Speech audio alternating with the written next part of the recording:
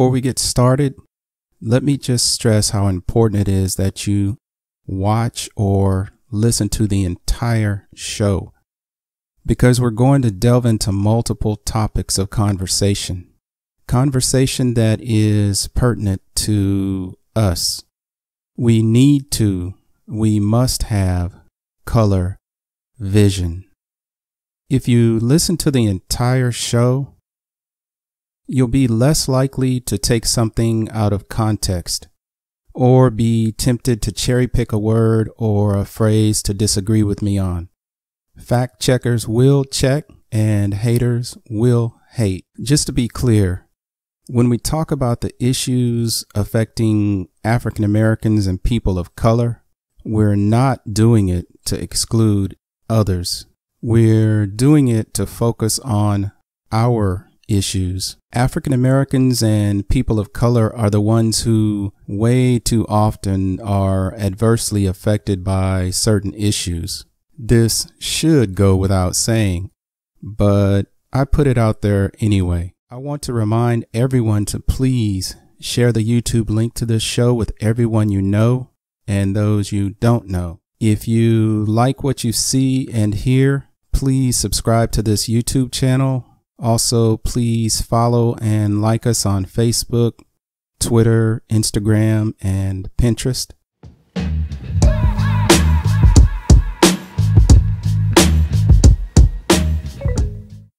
I like to start each show by trying, and I stress the word trying, to take the pulse of our nation.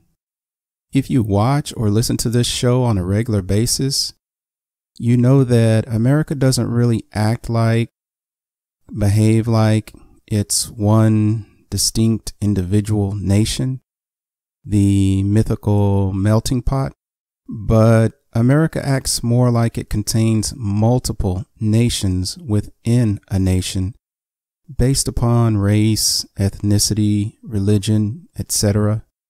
So from time to time, I ask myself, are we as a people progressing? Are we somewhat stagnant? Are we regressing? What is our vision? we need color vision. Have you ever noticed that whenever you run across a man who self identifies as white, and he appears, at least on the surface, to be a staunch supporter of the so called black or African American movement. Usually, he's not just a lover of the brethren, or someone who really and truly believes in so called equality between the races. Actually, he's quite often just very legal minded, a person of principle when it comes to rules, regulations, and the letter of the law. Kind of like in that movie, A Time to Kill, starring Samuel L. Jackson where Samuel L. Jackson's character kills two white men who viciously beat and raped his daughter. And a white lawyer, played by Matthew McConaughey, agrees to defend this act of revenge by a black man against two white men in racially charged Mississippi in the 1980s.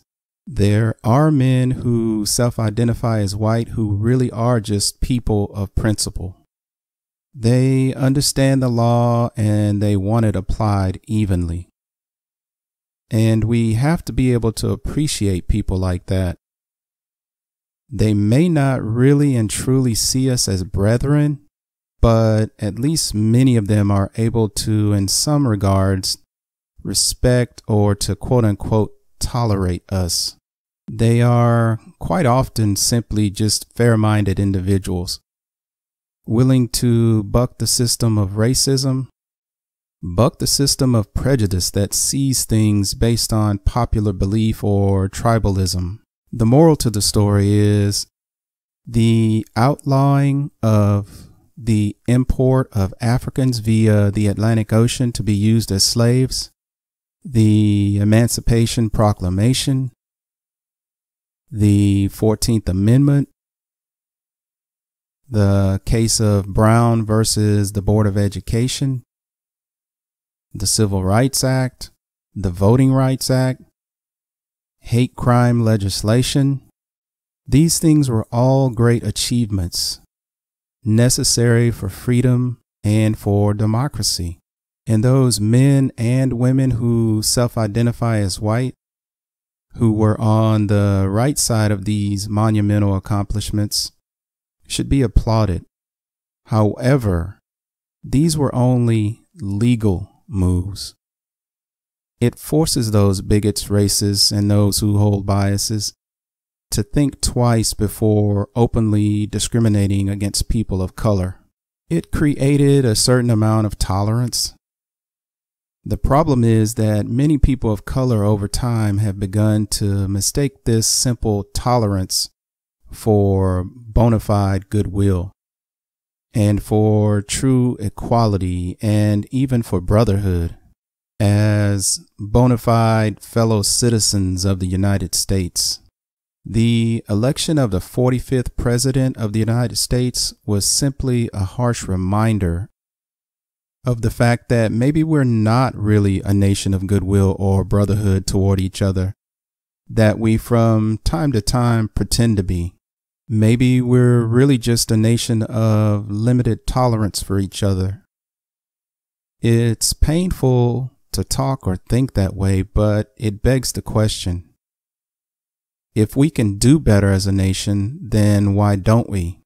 Let's take a quick break. Stay with us. We'll be right back with more color vision.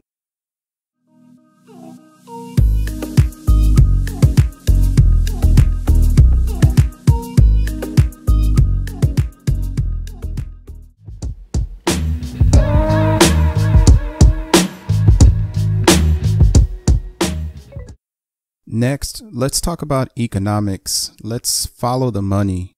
Show me the money. I was just thinking about the proposed changes to the current tax laws that many are arguing will primarily benefit the wealthy and those making above a certain income. Is it just me, or have you also noticed that all too often, not all, but lots of wealthy people, the one percenters. Now, don't get it twisted. There are a few brothers and sisters in that 1%. But all things being equal, most of the one percenters, the vast majority, are those who self identify as white. Not all, but most.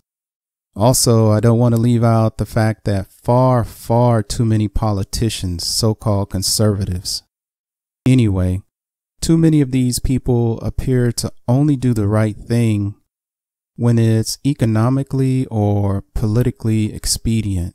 A recent reminder of this was the aftermath of the hurricane that devastated the island of Puerto Rico. When it comes to assisting large populations of those who self identify as white, it can be argued that the powers that be are more likely to go all in, throw the full force and resources at the nation's disposal at the crisis. Write the check now and worry about how much is in the bank account later. They appear, and I stress, appear to act very quickly.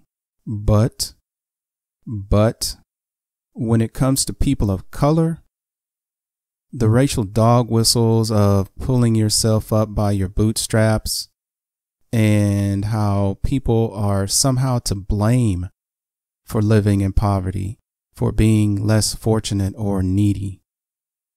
These dog whistles are sounded. There's quite often a narrative which says that because of their poverty, they deserve to wallow in their misery a little longer that maybe helping them during this immediate crisis is a waste of resources. That maybe the powers that be need to now step back and look at the systemic poverty or lack of educational infrastructure and mismanagement by local or regional authorities. The old teach a man to fish adage comes into play. And because it is usually directed at people of color, I'm more and more convinced that it's a new dog whistle. On the surface, they're pretending to be good stewards, as if they really have the long term best interest of people of color or those who are marginalized. When the truth is that way too often this is just a way to take jabs at people of color, at those who are disenfranchised. Hey, it seems as though the only time they want to step back and study something in detail is when black and brown people are asking for resources. Hey, listen. I'm not somebody here who's just hating on or bashing wealthy individuals. I mean, I am blessed and highly favored, especially in comparison to so many people of color who are struggling in other parts of the world. I am highly, highly successful, and all of my or most of my financial needs are met on a consistent basis, and I thank God for that. Usually, these days, when most people use the term wealthy, we're talking about the 1 or 2% of the wealthiest. Anyway, remember that money by itself is not a problem. It's better to have it and not need it than to need it and not have it. It's attitudes about money and what people do, or in some cases don't do with it, that causes the problems. And what I'm really talking about here is those who are in the positions to control our economy, positions that control political discourse, positions that controls so many of the narratives that affect poor people, less fortunate or needy people, and people of color. Hey, even the Bible reminds us to not forget to help others and to share our possessions with them the moral to the story is the idea that black and brown lives matter is not limited to police brutality and the broken criminal justice system. It extends to the idea that people of color, groups of people of color, are more than worthy of the same equal rights, privileges, the same resources that those who self identify as white are readily afforded access to during a crisis. Since the Emancipation Proclamation, we've complained that while we may be extended rights and privileges on paper, yes, you put it down on paper, but there are times where those privileges are not expressed in everyday reality. This is about basic human decency. And to top it off, when you talk about Puerto Rico, the U.S. Virgin Islands, or any U.S. state or territory. These are United States citizens. From Hurricane Katrina in New Orleans to Hurricane Maria in Puerto Rico, when will America finally stop with the race or skin color or ethnic disparities? And when will those who self identify as white, those who know within their heart of hearts that this is flat out wrong, when will they start calling out others who self identify as white? When?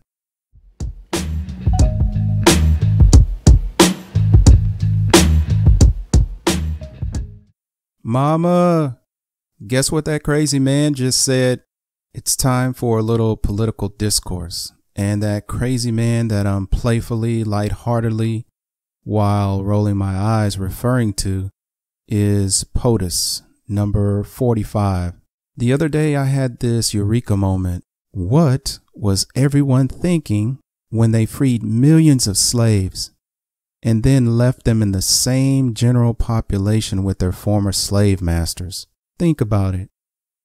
We should have been given our own state or maybe a couple of states to get ourselves together, to get used to, to learn how to once again live as free men and women like our ancestors, who we were often snatched from in Africa, at least for a few generations before reintegrating with whites after slavery. You know what?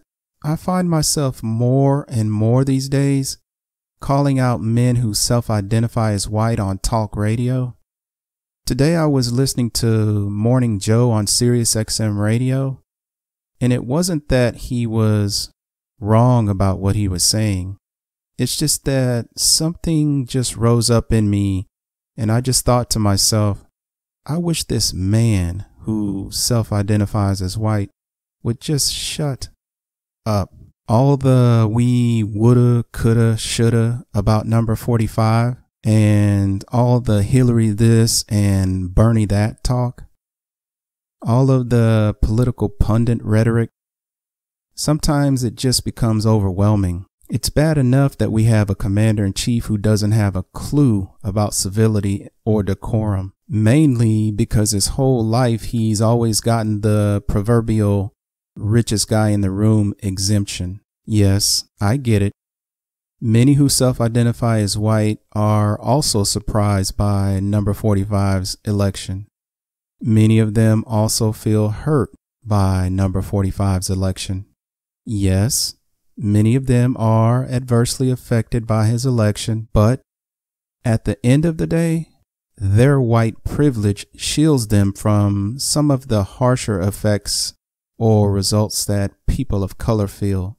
They will always be granted a certain amount of mercy, leniency, a certain amount of, if you will, grace, a certain amount of residual brotherhood based on their so called whiteness.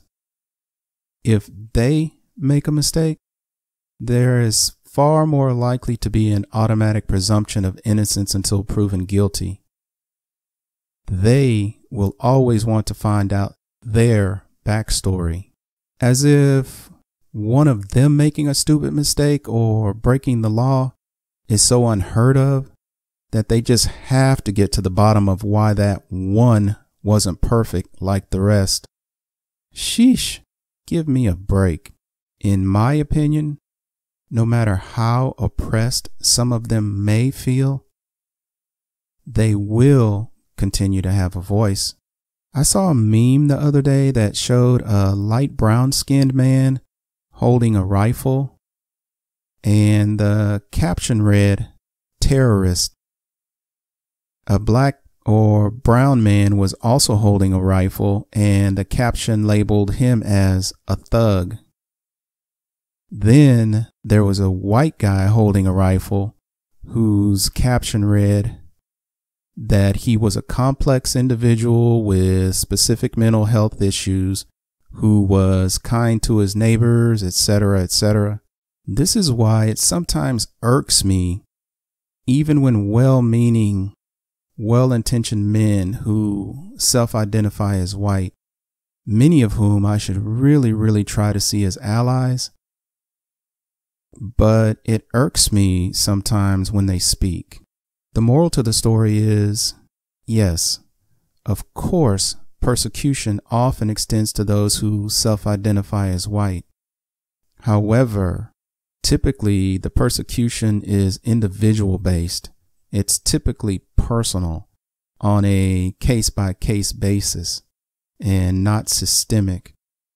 Rarely, if ever, is it long term or lifelong. Just saying. We need to do another break. Hold on, we'll be right back.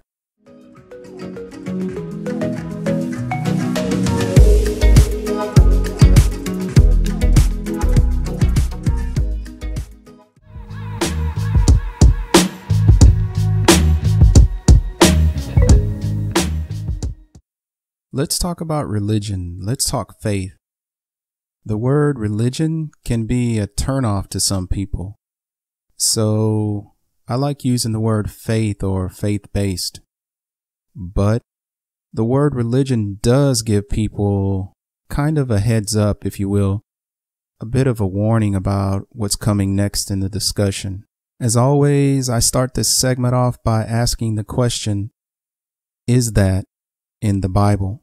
How does the social, economic, political rhetoric that's making rounds around the major news networks how does it line up with what the good book says?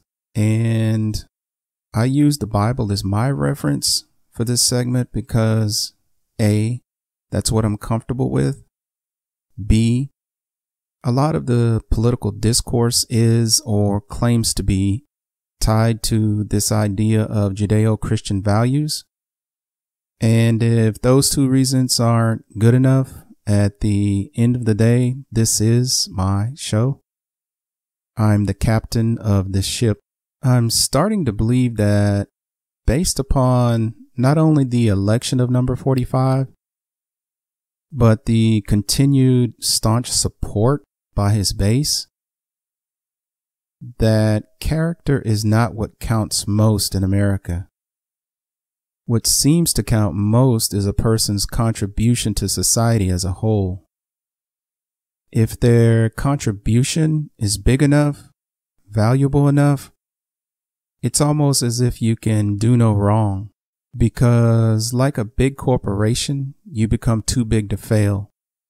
Isn't this how number 45 and those like him are allowed to flourish?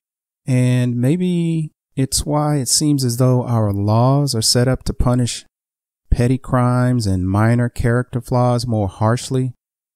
When you do the math, when you study the statistics on who is really punished or ostracized, who is marginalized for their lack of character, it's typically not the super rich or the powerful. Maybe this is why number 45 said he would ask for forgiveness if, if he ever did anything wrong. Sheesh. I have a sneaky suspicion that he's never read the verse that says, God corrects his children. If he doesn't correct you, you're not his child. Am I the only one who's starting to think that the so-called white evangelical movement will stand behind any candidate as long as the candidate is opposed to anything that benefits African Americans and people of color or anything that's seen as quote unquote liberal. Isn't this the utmost hypocrisy? Because the same systems that benefit African Americans and other people of color, the same systems that benefit working class and poor people, these same systems and benefits also benefit a large majority of those same so-called evangelicals.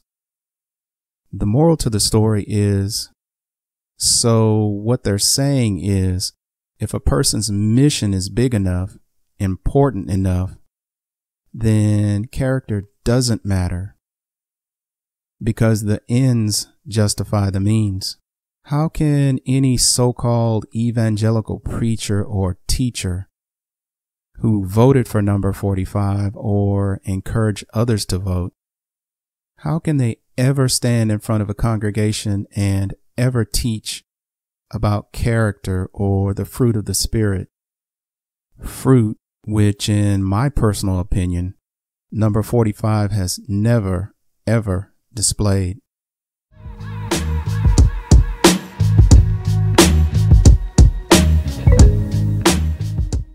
I only have two things to say. One is go Cowboys. Two is that I'm not feeling the NFL right now. I'm doing my best not to watch any NFL games this season, even my beloved Cowboys. I'm supporting Colin Kaepernick, but I'm also supporting the First Amendment rights of all Americans. Just tired of all the social injustices. I heard Skip Bayless from the Skip and Shannon TV show Undisputed. I heard him say that he believes that more black men, black NFL players should kneel in light of the fairly recent incident where one of the NFL owners compared the NFL to a prison. This owner said that you can't let the prisoners run the prison or something to that effect. Anyway, Skip said that in his opinion, as a man who self-identifies as white, he thinks that more black men should kneel in light of this owner's comments. But you know what? I asked the question, why don't NFL players who self-identify as white, why don't they also kneel? why aren't those who self identify as white offended at the comments that that owner made as well? This to me is the million dollar question. Why aren't more people who self identify as white appalled at the comments of this owner? Appalled at the daily displays of poor white behavior, bigotry, and racism around the nation? The moral to the story is the reason why we don't see more NFL players who self identify as white sympathizing with us on these issues is because so called white sympathizers are really quite rare. Those who side with us are more often than not painted by their white peers as being so called liberal, leftist, weak, naive, whereas back during segregation they would have been called communist or even to borrow a phrase from Harper Lee's book, To Kill a Mockingbird, quote unquote, nigger lovers. However, we cannot give those who self identify as white a free pass. Those who passively sit by and watch others who self identify as white oppress African Americans and people of color. We can't let them hide behind the misguided American notion that we are a country of quote unquote individuals. The old notion of every man for himself, the notion that it's not their fight, so why bother? That's why when some biased or racist police officer assaults or even kills a black man during a routine traffic stop, white men in general, not all, but in general, they see it as having nothing to do with them or their own quote unquote individuality. The phrase, it's not my concern, is a phrase that should be a cuss word, a four letter word to whites who claim to be people of spiritual faith, or for those who tout freedom, liberty, and peace as their mantra. Let's take a quick break. Hold on, we'll be right back.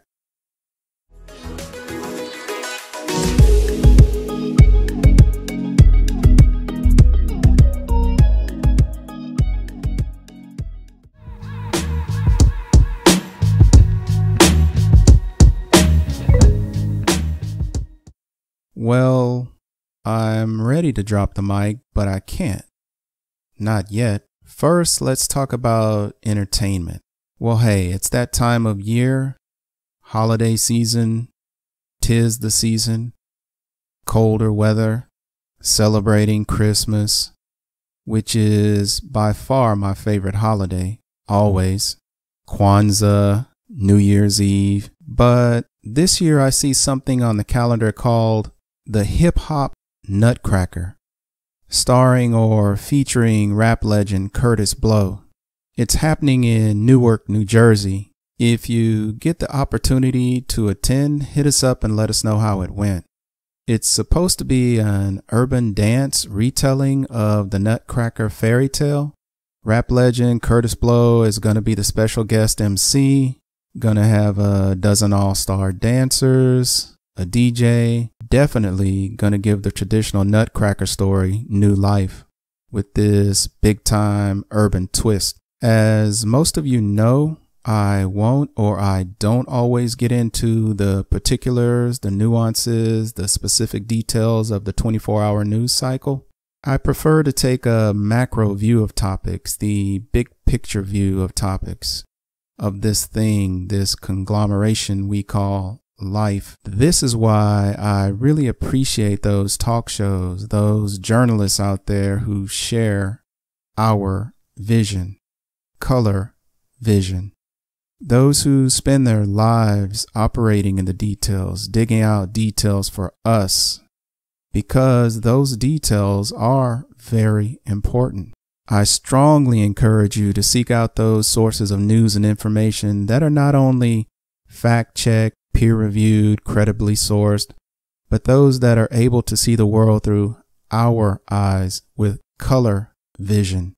academic analysis and good research are paramount, but so is understanding what it feels like to be a person of color in America. We can not rely on local or cable news to look out for our best interests.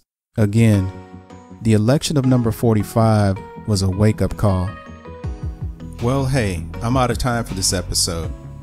But if you have a story to share or would like to suggest a topic that you would like for us to talk about, then please reach out to us on social media or visit our site at ourviz.com. Until next time, always remember that vision looks outward and becomes aspiration. Peace.